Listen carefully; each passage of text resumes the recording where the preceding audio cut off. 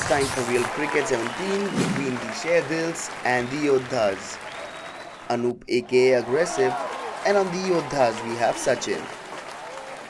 First ball of the over towards the boundary but it is going for a 4. Second ball straight down the middle. It's going for a 4.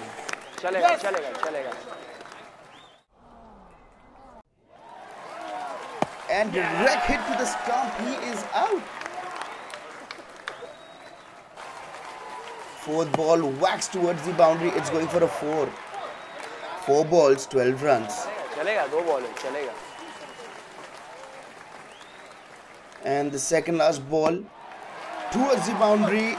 It's a four. Last ball, last ball of the over. Now he whacks it towards the boundary. It's going for a six. Yodhas now need 23 runs in six balls.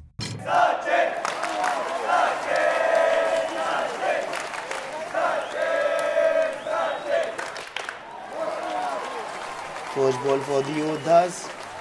And that's a miss by Sachin. Second ball comes in and that's a miss too. Third ball of the over. Towards the leg side, it's going for a four.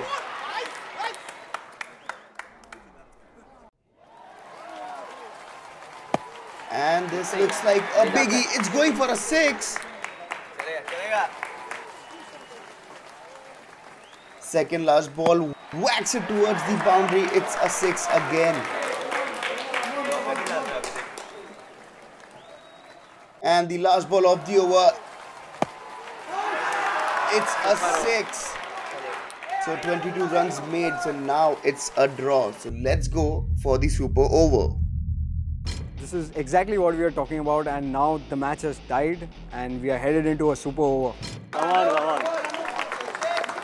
Come on up. First ball for Anup.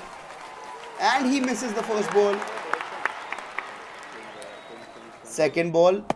That's a hit towards the boundary. It's going for a four.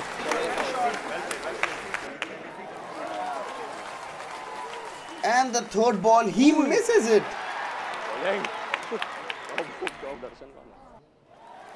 The fourth ball, it's in the air, and that's a catch out. Second last ball of the over towards the boundary. It's a four.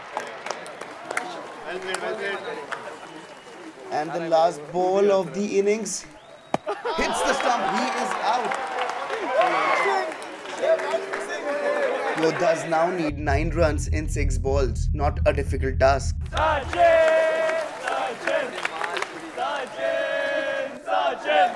First ball for the Yodhas directly out of the boundary. It's going for a six.